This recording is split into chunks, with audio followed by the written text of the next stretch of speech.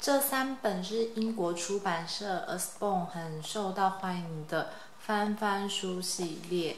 那它现在有这个 counting，就是数数的，还有 word，一些常用的字汇以及 colors 颜色。那我们一起来看看吧。counting 数数翻翻书，这里可以看到有一栋好漂亮的大房子，有没有？那它这里有写一。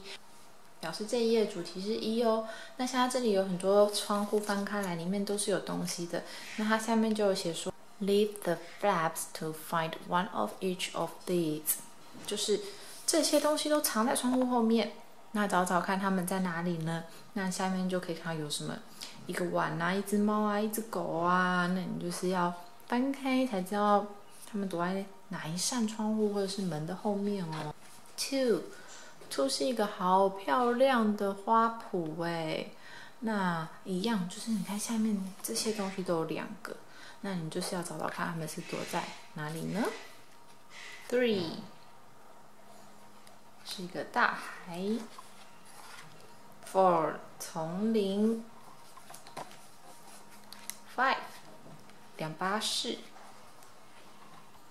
那它到五之后，这一页这两个是不一样的，它就开始 Can you find 这边就有混了不同的 three ducks 三只鸭，one cyclist 一台脚踏车，然后 four sheep 四只羊，two foxes 两只，forty five star 五颗星星，哪里呢？你就要开始去找找看哦。那这边也是，大家换了一个主题。How many？那这边呢，就是叫你算算看喽。上面会先告诉你这是什么，比如说 sheep，这有羊，你可以数数看，one two three four，是不是？是不是四只呢？那你翻开来就解答喽。那这边呢，则是说你找找看，哪一个树叶，哪一棵树上有两只鸟啊？那你要，你看这边有个图嘛，五棵树，那两只鸟是哪一棵树？好，是这个。那你把它翻开，哦，就可以看到一个笑脸是对的。那如果是其他的呢，它就会背背是错的哦。那下面也是，你就是找到正确的，翻开来就知道有没有答对哦。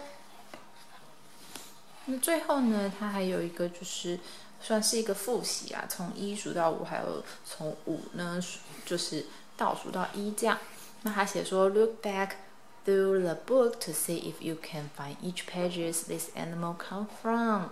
那你可以再去前面看看，因为这些都是前面出现过的动物，你可以去翻翻看前面的页数，找出它们来哦。